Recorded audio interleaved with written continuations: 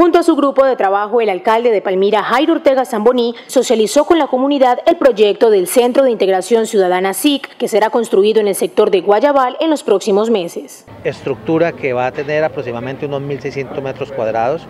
Eh, eh, de los que se van a hacer, el alcalde priorizó este, se van a hacer seis, se priorizó en el ministerio desde el año pasado.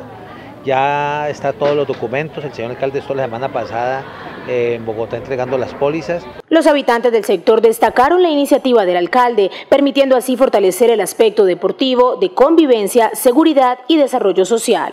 No, pues yo sí creo que les va a caer muy bien porque acá hay mucho niño que se sale mucho a la calle a jugar. Que nos beneficia muchísimo, porque aquí hay muchos muchachos desocupados y que les gusta el deporte.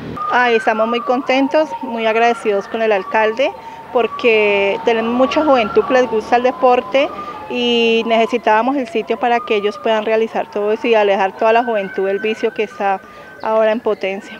Palmira, con inversión social, construimos paz.